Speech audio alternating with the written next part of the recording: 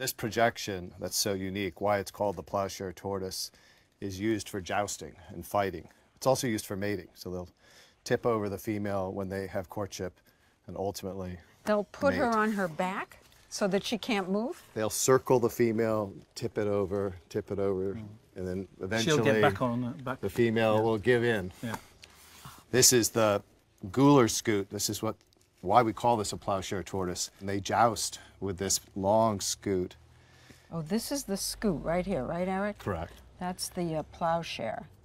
This is also known as the samurai tortoise in Asia due to that long gular scute